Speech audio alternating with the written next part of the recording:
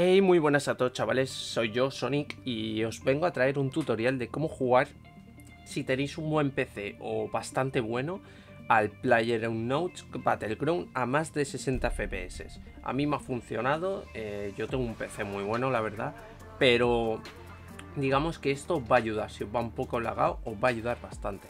Vale, lo primero que tenéis que hacer es ir a la biblioteca de Steam, darle clic derecho al, juego, propiedades, eh, definir parámetros de lanzamiento y poner esto tal cual. Esto lo voy a dejar en la descripción.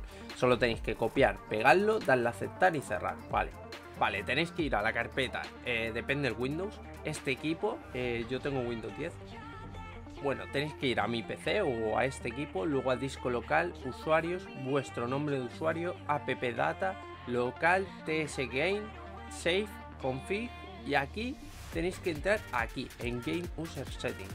Vale, entráis y, cambiáis esto tal cual. O sea, como lo tengo yo, pues lo veis y lo cambiáis. Solo los números últimos, que es lo que tenéis que cambiar.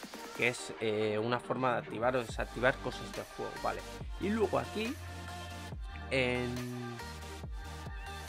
en Blue Motion Blur, tenéis que poner True porque estará false y ya está, creo que aquí no toca nada más. De todas formas os enseño todas por si tenéis que cambiar algo, pero no.